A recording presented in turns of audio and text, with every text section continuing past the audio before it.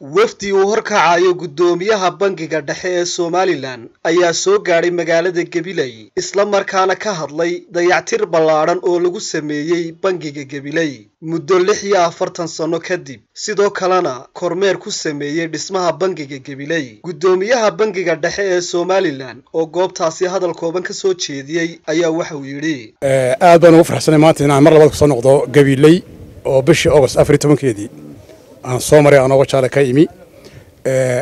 Maalintaa iyo maanta iyo maanta aad bay u kala duwantay oo maalintaa xitaa dee guriga dhexdiisu darhorimanay laakiinse maanta waad artay in muxuu ahaa bilicda ka muuqato. Branchkan waxaa la sameeyey nineteen seventy three sidii loo hore loogu sheegay. Waxaa dib loo furay nineteen ninety one june. Waxaynu la soo noqonay gobonimada somalilan eighteen may nineteen ninety one. Dhowr cisho ka bacdi ayaa la furay laantan waana tii ugu horreysay laga furo muxuu ahaa somalilan markii la soo noqday. Marka ahmiyadday leedahay halkaas baad ka garanaysaa inay tahay dee laan mudan oo aad iyo aad aan u siinay tixgelin. Shaqaalaha aad baan ugu mahadnaqayaa. Halkan ka caddayna muddo ka wareegtay baa baanka la dhisay. Si iskaa wax u qabsaa ilaa intaa waxba lagama qaban.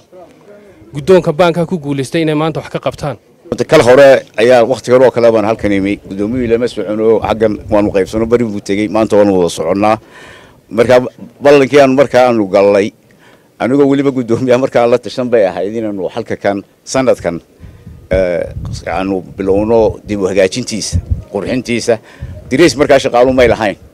Marka labada ballan waxay diraysna shaqaaluhu yeeshaan laantana lagu daro laanta ugu horreysa la hagaajinayo ay noqoto sanadkana la casriyeynayo waxaan guddoomiyaha ugu mahadnaqayaa inuu fikirkii markiiba uu fuliyey oo maaragtay runtii uu qaatay. Waa cabdirasaaq axmed hayaan ilka case star t v gabiley